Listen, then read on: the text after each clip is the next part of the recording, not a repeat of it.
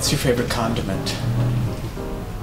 I gotta go with dill, cause and that I think is a very Swedish thing that we put dill on everywhere where we shouldn't even put it. You have a boiled egg and some Swedish Kalles caviar, which is a kind of caviar that's not fancy at all. That's it's salty paste of some kind, and then you have fresh dill and you cut it up, and the smell of it, and you put it on the egg, and it's a feast. It's something fantastic.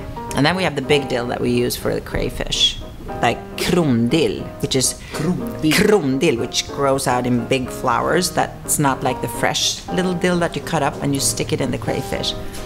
When I grew up, with every meal you had potatoes. So instead of saying I'm going to start dinner, you said I'll start the potato because potato came with every, no matter what you ate. You always had potato. I'll have to start.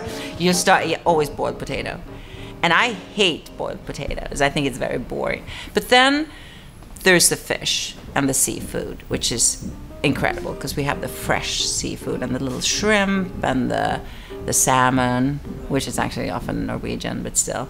I have to say, Sweden has become so much cooler within the last 10 years. Uh, it's really changing into something in- incredibly beautiful. I'm, I'm very proud to be, to be a Swede, and I'm very proud of that country every time I go back. And I think through the immigration, there has been something that's more liberal in Sweden now. It's still a very fair and decent country. It's not a country where a few have everything and the rest has nothing. But there's a freedom, and people are allowed to be proud of who they are and, and all of those things. That was not the case when I grew up at all. It was very sort of like, who does she think she is? Keep your face to the ground and very sort of which is not a bad way of growing up either, I have to say. It doesn't promote snootiness, because that would be like right away. It's changing into something where people are more themselves and proud of it, I have to say, and, and, and edgier and, and not like you have to be like everyone else. And if they don't do it, I can do it. And, you know, checking out how everyone else is doing and then just shh, keep moving forward. It's not that way anymore. It's very, and you see cocky people and strange people, and it's, it's great. I like it. Uh, what do you think you've eaten more of than anything else? Kräftor, kräftskiva. When Swedes get together in August and they have the this crayfish, and they drink schnapps and they have hats and they sing. We do that. We do that for real. It's not just like mm, only in movies. We really do that. And I happen to love kräftor, crayfish, the way it's cooked. You're supposed to peel them, obviously, but if you get impatient, you start.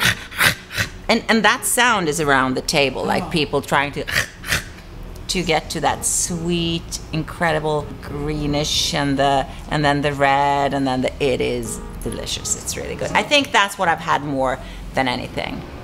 What's your least favorite condiment?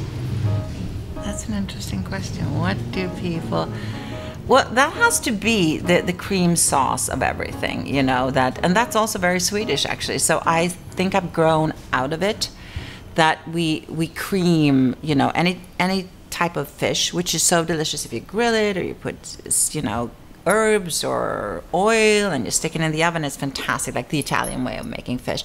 In Sweden, we do a lot of cream, like cream fish. And it was actually our daughter who was like, Do we have to have everything so darn creamy? Like, I can't see or sense the fish because it's always in like a mushroom cream sauce or a lemon cream sauce or, and, and, um, I've stopped doing that and I've started to resent that. So now when I go to Sweden, I'm like, you can don't do the cream. Maybe I'm in Sweden for four, four to five weeks every year. Oh, not more. Months. That's really No, no, no, no.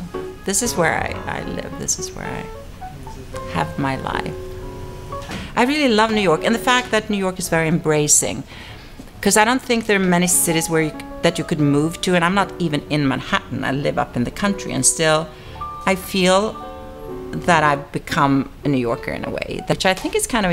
I think if you move to Paris or Stockholm, you could live there for two lifetimes and still feel like you don't belong. But in New York, I think uh, New York is very embracing as a, as a city. Other than the lox, do you have like one dish that you make your way that's uh, inspired by Sweden? Yeah, and it sort of contradicts everything I said. but I think It's a potato dish, and it's creamed potato with dill that I make very good. What's like the worst thing you've ever had on set in your trailer or something like that, food wise? That has to be actually, which is which sounds weird, but when we filmed Chocolat, uh, Judi Dench's character was supposed to make hot chocolate for me and Juliette Binoche's character, and it was teeny little cups. And this darn chocolate was not like drinkable almost because they wanted it to be real and they had real chocolate. And and chocolate is something pleasant. But when you every morning at five o'clock walked into this intense chocolatey in a studio that has, was too hot and the chocolate got a little bit old after you know it was excruciating. On like the 12th take i was like i'm gonna throw up. It's it's horrible. And we were supposed to love love this thick that that was the worst food It's acting and it's, right? But Yeah. it looked good on camera. yeah it did it, it looked fantastic